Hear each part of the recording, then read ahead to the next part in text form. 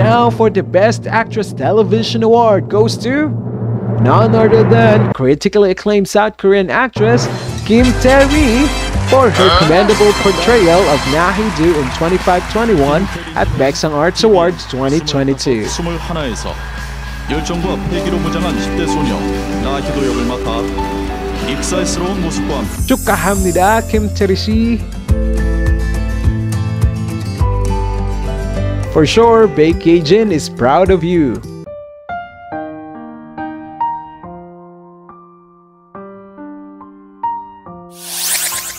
제가 최근에 어떤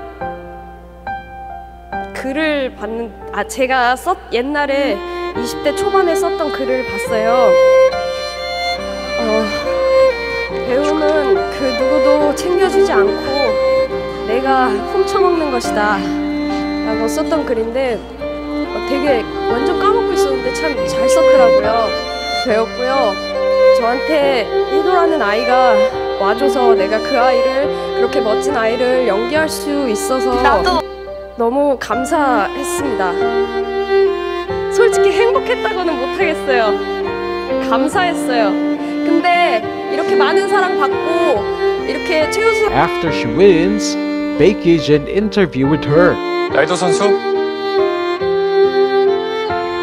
반갑습니다.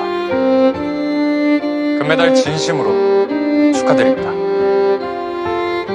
감사합니다. 앵커님도 잘 지내셨나요? 아, But then, mga chingo, the ending really hurts me. And maybe to you too.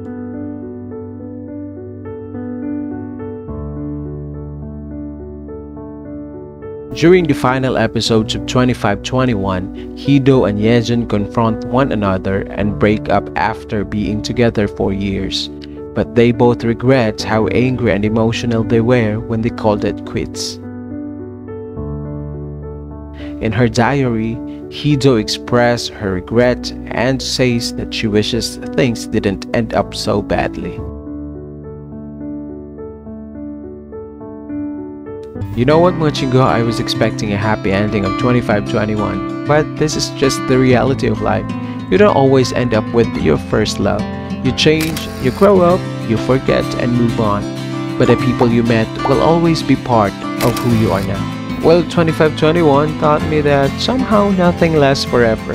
But one thing that will never change is the memories you spend with each other.